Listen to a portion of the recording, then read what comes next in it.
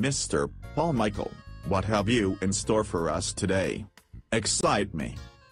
Oh my god, who is the hottie? That hottie would be my boyfriend. Come again. My boyfriend Jack.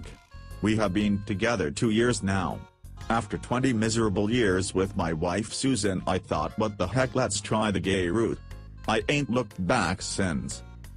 God you're beautiful Jack. My patience are running out Mr. Paul Michael. Would you please stop drooling over my boyfriend and get on with things? Okay sorry. Right back on track. I think if this business wants to start earning some serious money we should, marry me Jack. You're fired, get out at once. I'm on Facebook gorgeous, add me Paul Michael David Bain. Hell follow me on Twitter too, AberGayGod.